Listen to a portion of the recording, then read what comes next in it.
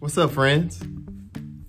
I remember when I was a kid, probably about your age, I remember sitting in church. Now, when I was growing up, things were a little different compared to what you probably experienced, especially when we were actually able to gather together in the actual church building.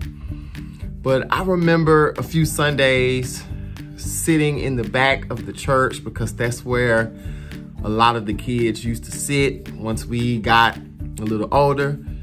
I remember listening to my grandfather, who was a pastor, uh, listening to him preach sermons. And if I'm being honest, never really understood what he was talking about. A lot of the times I wasn't even listening. Lord have mercy.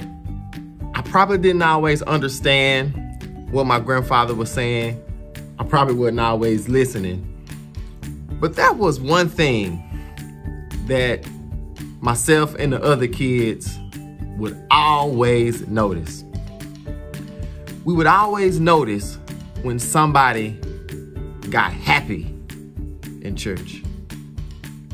I'm gonna let that sink in a little bit because you're probably wondering, well, Mr. Washington, shouldn't we always be happy? Listen, when I say that we would notice when people would get happy in church, I- am talking about something a little different, something that you may or may not be accustomed to.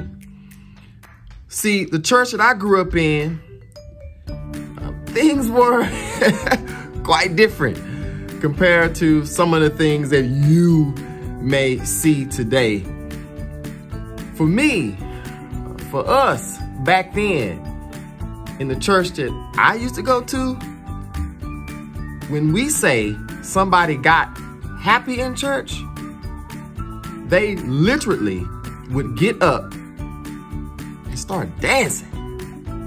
Not the kind of dances that you do. I'm not talking about the dab. I'm not talking about that other funny dance I see you doing. What is it called? The Orange Justice? What's the other little funny dance that you do?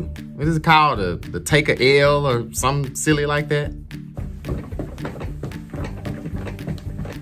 No, no, no, no.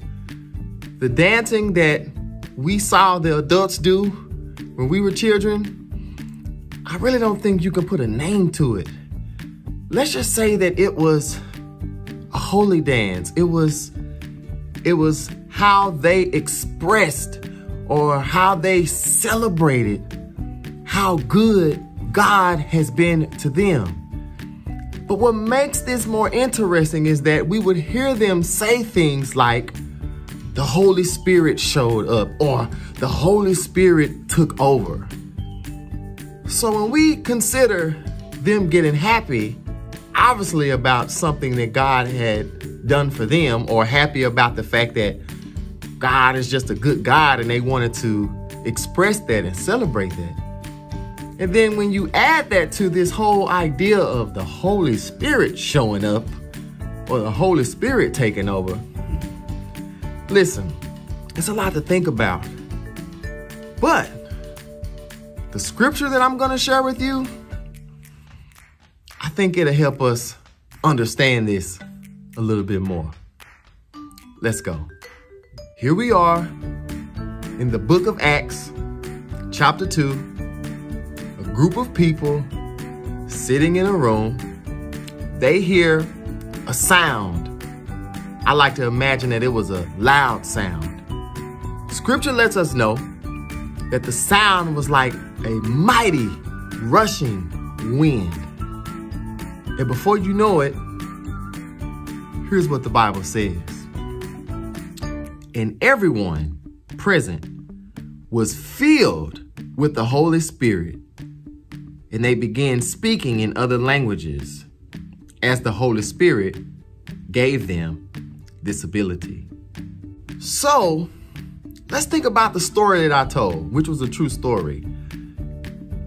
Clearly, it is possible based on the Holy Scripture that the Holy Spirit, which is a spirit, that comes from God, which is a spirit that comes from Jesus, the Holy Spirit actually isn't an it. The Holy Spirit is a person. You can't see him, but you can feel him. I know it is mind boggling, but it's true. And we just have to believe that it's true. Clearly, the Holy Spirit can show up and take over and show out. And whoever is present at the time clearly is going to feel the power and the presence of the Holy Spirit. Now, let's talk about the Holy Spirit for a second. The Holy Spirit, which has been sent from God, comforts us. The Holy Spirit leads us. The Holy Spirit does something called convicts us, meaning He's like our moral compass when, when something doesn't feel right, when something doesn't seem to be right, when we may be making mistakes. The Holy Spirit is there to put us back on track and lead us in the right direction. The Holy Spirit, I believe, especially when we consider my upbringing and some of the things that I learned and witnessed with my own eyes and even experienced myself, sometimes the Holy Spirit can fill you up so much so and remind you of how good God is to his people, to the world, and how good God is to you. And he can connect with you and, and feel you so much so that you just feel like you can't resist uh, praising God and celebrating how good God is. Boys and girls, the Holy Spirit is real. The Holy Spirit is awesome. The Holy Spirit is powerful. And the Bible teaches us these things.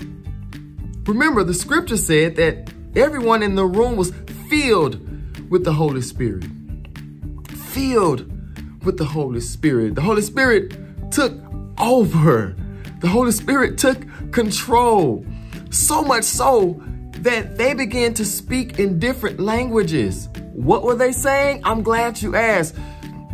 They began to speak about, to talk about, and to celebrate the goodness of God. Here's what I firmly believe.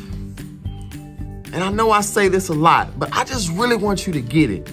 I know that you're kids. But the moment that you decide I don't care how old you may be. I really believe this. The moment you decide to follow Jesus, to commit your life to Him, to recognize that He is your Lord, that means that He is in control of your life and you're actually okay with it. That you're going to obey Him, that you're going to do what He wants you to do and what He teaches us in the Holy Scriptures, in the Bible. And that you're going to follow Jesus. Like, you're going to do what you can to do the things that Jesus did and to behave in the way that Jesus behaved. Like, it's a great decision to make. I really believe when you get to that point, boys and girls, that just like the people in Acts chapter 2, you're going to be filled with the Holy Spirit. Now, there may be things that you have to learn in, in different ways that you have to grow. And, and there are going to be things that you'll come to understand the longer that you walk with Jesus. But listen, if you've already given your life to Jesus Christ, guess what? Don't be surprised. Once again, I don't care how old you are, you have the Holy Spirit. And the Holy Spirit will fill you up. And trust me, I know this from experience. He will help you get through your day to day life in such a way that God is honored, that God is pleased, that God is looking down upon you and smiling, and then God is saying, Well done. Keep up the good work. You can make it. Just trust me. Just trust the Holy Spirit. Oh man, it's fascinating. And I'll be completely honest with you. It really doesn't make a lot of sense. Let me just say that flat out. It doesn't make a ton of sense. I don't even fully understand it. But we have to have the faith and we have to believe that the Holy Spirit is real. And if you're giving your life to Christ, the Holy Spirit is in you. And if you haven't given your life to Christ, well, get ready because when you decide to do so, you're going to get a great gift. And that gift is the Holy Spirit. All right, guys, my friends, I love you. Stay safe, stay healthy. Hope to see you soon. Peace out.